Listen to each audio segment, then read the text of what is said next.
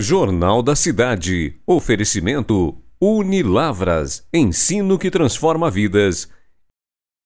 E Nilson Imóveis. Com você em cada momento. Olá, hoje é quinta-feira, 14 de março. Começa agora mais uma edição do Jornal da Cidade que destaca. Senado aprova isenção de IPVA para carros com mais de 20 anos. Seleção de Labras segue preparação para a estreia na Copa Alterosa.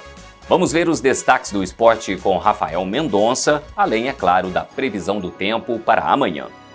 Vem comigo em mais uma edição que está no ar.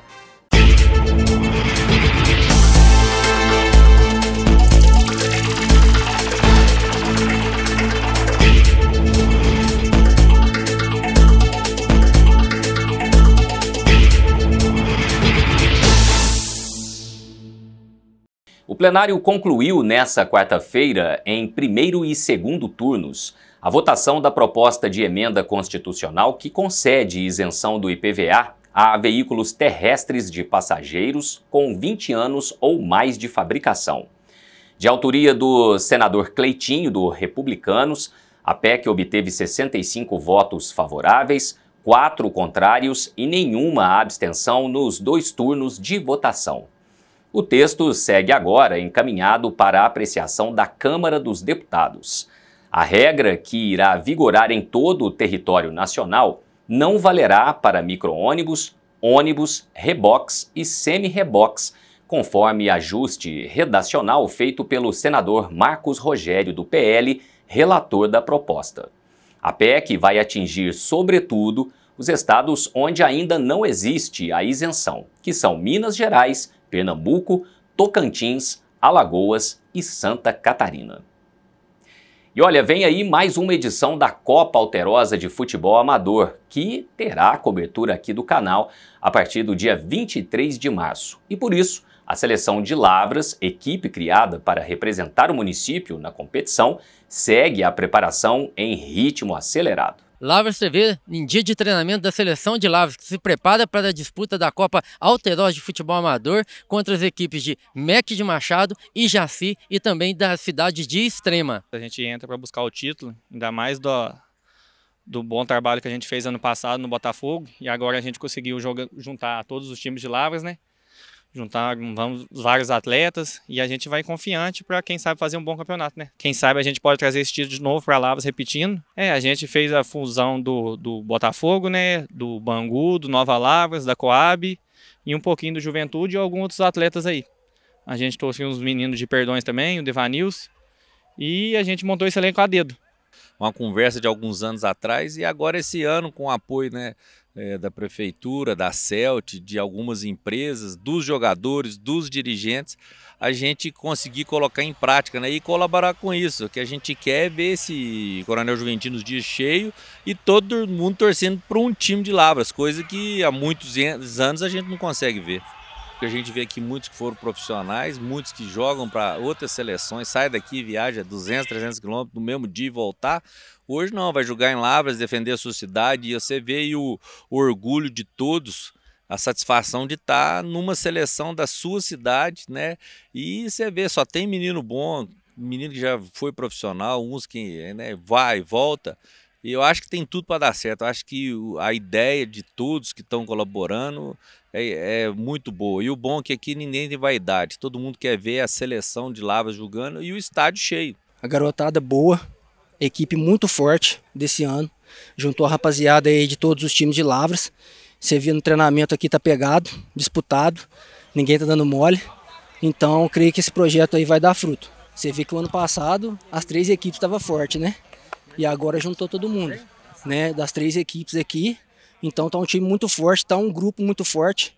Aqui tem 25 jogadores aqui que tem total condições de jogar. Estou muito feliz por estar fazendo parte desse projeto, que já era para ter acontecido há anos, né? É, reunir esses craques da bola aí de lado. É muito gratificante estar fazendo parte, estou muito feliz. A disputa sadia, mas ao mesmo tempo assim, aguerrida, né? É, são bons jogadores, tem o Pérez, o Felipe, é, o Guilherminho, são bastante jogadores de alta qualidade, Mas volto a repetir, estou muito feliz por, estar disputando vaga com esses caras.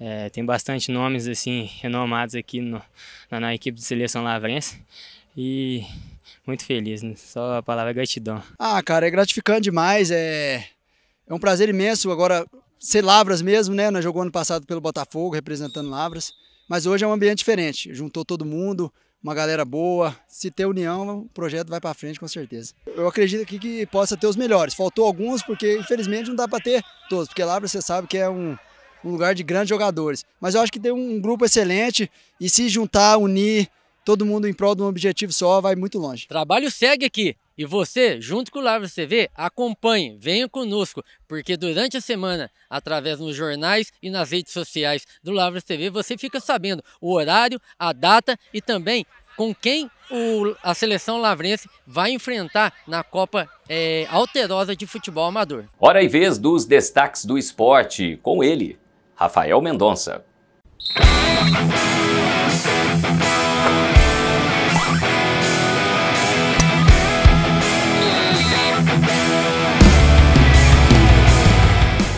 Chegando Júnior com as informações do mundo do esporte nesta quinta-feira, destacando a Copa do Brasil, porque ontem tivemos mais equipes classificadas para a terceira fase. O esporte empatou em 1 a 1 com o Murici de Alagoas, passou nos pênaltis 5 a 4. O Ipiranga bateu Porto Velho por 2 a 0, também avançou de fase. O América de Natal fez 3 a 0 para cima do São Luís. Tivemos o Juventude batendo o Paysandu por 3 a 1 e ficaram no 0 a 0 Sampaio Correia e Ferroviário. Sampaio passou nos pênaltis 5 a 3 Tivemos, é, vamos ter nesta quinta-feira os últimos classificados para a terceira fase.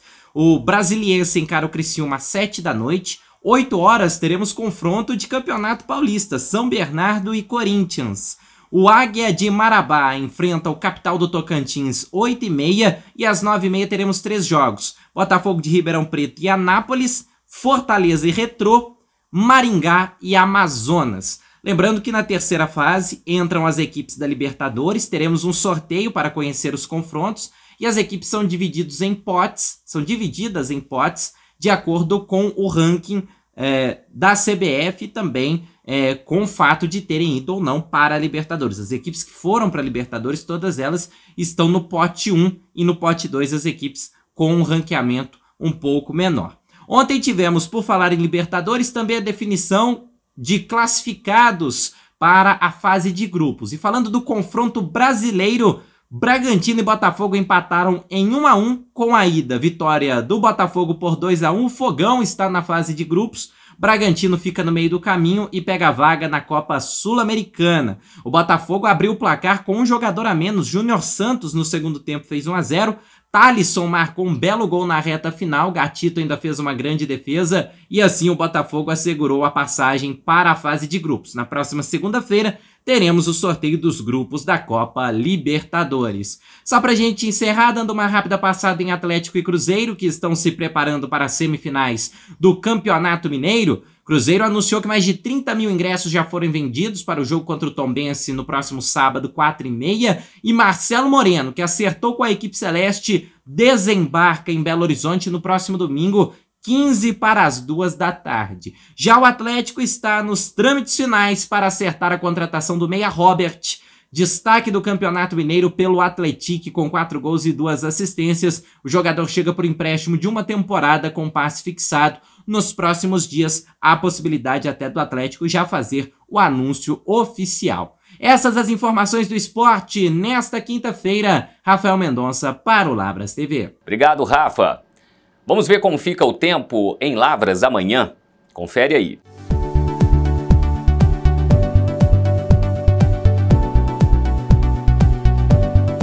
Segundo o Instituto Clima Tempo, a sexta-feira será de sol com algumas nuvens e sem previsão de chuva. Mínima de 18 com máxima de 32 graus. Ventos a 9 km por hora e a umidade do ar fica na casa dos 47%. E o Jornal da Cidade está terminando. Curta nossos conteúdos nas redes sociais e, claro, compartilhe. Se está nos assistindo pelo YouTube, se inscreva também em nosso canal, ativando o sininho das notificações para ficar por dentro de toda a programação. Sugestões de reportagens podem ser enviadas pelo nosso WhatsApp 99845 8318. Lavras TV, o seu canal na internet. Tchau.